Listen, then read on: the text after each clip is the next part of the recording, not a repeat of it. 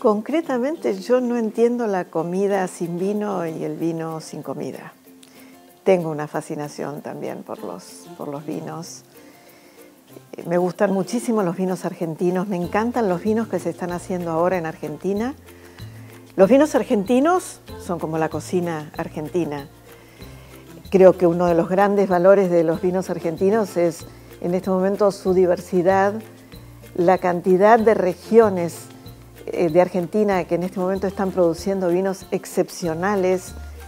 Tenemos vinos de, norte a sur, de este a oeste del país eh, increíbles.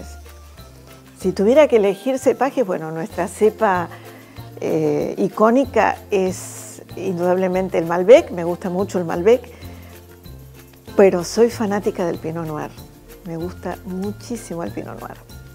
Y concretamente me gustan los Pinot Noir de Patagonia, Argentina.